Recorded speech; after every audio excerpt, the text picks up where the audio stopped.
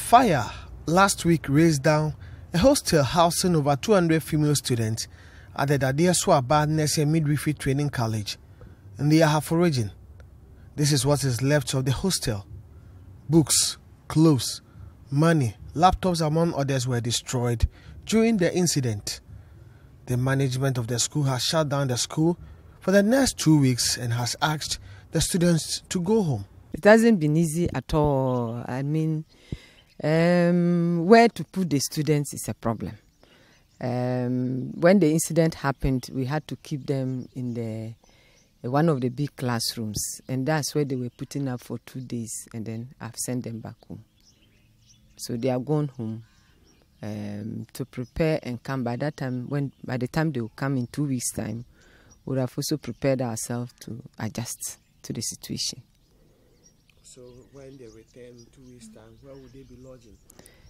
Um, we are trying to use the kitchen as a classroom right now, and then our dining hall as a classroom, so that we make way for the classrooms to be bedrooms for them, to be hostels for them. So that's how we are going to do it, to adjust to the situation until something is done. Uh, we had a meeting with uh, the MP for the area, the DC, and other well-meaning uh, people from the community, the chiefs. Um, we've, they've promised to contribute. Many people have promised to contribute so that we see whether we can put up a new building immediately. Some of the affected female students have been sharing the impact of the incident on them. This incident or this strategy has really affected us, the students, a lot. Not to even talk about the psychological trauma.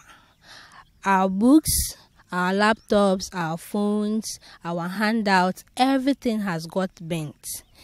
You can imagine we being in school from first year to um, the third year, which is mine, my third year. All my handouts has gotten bent. I'm about writing my exams in two months' time, and I don't have any handout or any book to study. It has affected us a lot because we are supposed to be in school by this time, but because of the tragedy that's happened, oh, they break us for two weeks that we should go. And me like this, I'm coming from Volta region, very far place. So I can't go home and come back the next two weeks. Even the following week, we will be doing our registration. That means I'm spending only one week in the house and coming back. So it affects us a lot. Our handouts are not to be get back from first year to now. All everything is bent laptops, everything. The only thing that we have on that is the dress that we wore that day in class. We are even having a class that day, that Sunday, that the incidents happened. Oh, it's affecting us a lot because as I'm like I'm a final year student, NAC, and I've lost a lot of things in our building, like our laptop, money, our things, handouts, all. We've lost a lot. So it's really affecting us in our studies. The principal of the Dadiesoaba Nursing Midwifery Training College, Marcelina Teni Kose, is calling for support. Well, I'm appealing to them to come to our aid to build classrooms. We need classrooms, we need hostels. In fact, the hostels we're even having, every time I get the opportunity, I talk to people that we need hostels. We need more classrooms. So they should come. If GETFund can be of help to us, you know, uh, we are asking if they can come and then help us to build a hostel right now for us to be able to continue. If not, where, where will the students be put in?